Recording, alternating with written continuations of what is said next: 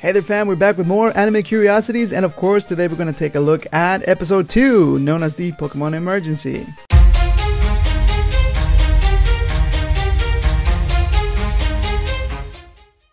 This episode was aired for the very first time back in April 8, 1997 in Japan. It was later released for the US on September 9, 1998. There were some key events that took place during this episode, such as Misty introducing herself to Ash, and we actually meet Team Rocket for the very first time. It was in this episode that they vowed to capture Pikachu no matter what it took. This would stay consistent throughout many episodes ahead. There is some interesting trivia and errors revolving around this episode. For starters, this is the only episode where we hear about Ash's father. According to his mom, it took his father four days to reach Viridian City. From this we can infer that his dad could in fact be a trainer as well. And if Delia knows about this, it must mean that they knew each other since they were kids, as most Pokemon trainers start their journey when they turn 10. Ash was shown a stone tablet with the images of Moltres, Articuno, Zapdos, and Arcanine. The idiot, of course, confused Articuno with Ho-Oh, who was shown in the previous episode. I don't blame him though. After being struck by that Thunderbolt or whatever the heck that was, I would be messed up on the head too. I mean, just look at how the bike ended up. People in the Pokemon world are superhumans. Why you know makes sense, Pokemon? This tablet also started a debate regarding Arcanine. Many believe that he was meant to be a legendary Pokemon from the start, hence his legendary species.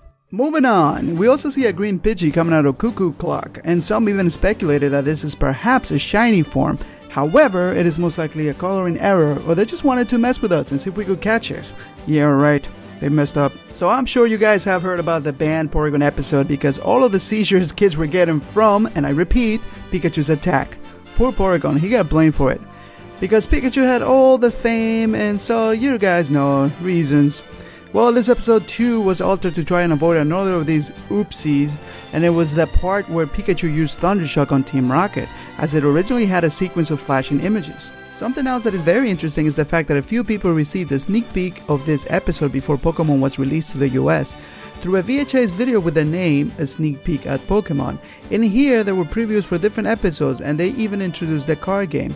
You can still find these babies around for like 10 bucks if you are into collecting. But you have been warned, it's very corny. There were also some simple mistakes such as Jessie shown without her lipstick and James not holding his typical rose. Oh, and Pikachu's tail not being color right. But I don't want to bore you guys to death. So this has been our second episode of Pokemon Curiosities. I hope you guys enjoyed it and we have a very long road ahead of us. So until the next episode, Pokemon fans, peace.